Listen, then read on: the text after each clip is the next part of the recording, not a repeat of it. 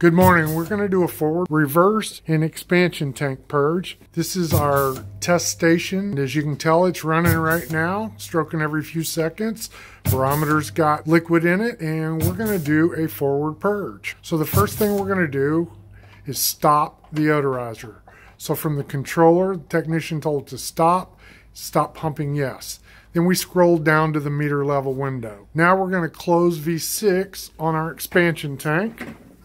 As you can tell, it's a little difficult to get to here in our shop. And now what we're going to do is we're going to use valve 4, the gold valve, and increase our pressure to about 55 to 60 pounds in the expansion tank from the verometer through the pump back into our storage tank. Now the technician's opening valve 2 and watching the meter level. Meter level's dropping.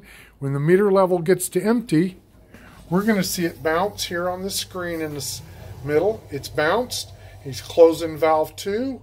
And now we're going to start on to our reverse purge. We ask the controller to fill and fill verometer yes. That opens our fill valve down here and allows the odorant to flow from the verometer back through the fill valve, back into our bulk filter, and back into our storage tank.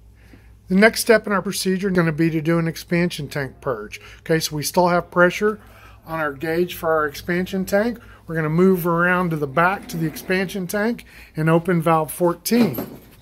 Valve 14 is located on the bottom of your expansion tank. You're going to open valve 14 until you hear bubbling in your storage tank. As soon as you hear that bubbling or gurgling sound in your storage tank, you close valve 14. And now we're going to isolate that with valve 17.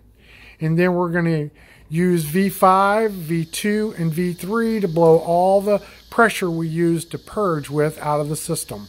Now we've completed our complete forward, reverse, and expansion tank purge, done our system maintenance, so now it's time to get the system started back up.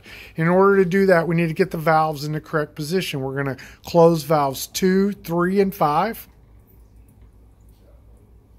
We're going to reintroduce pressure to the expansion tank with valve 4.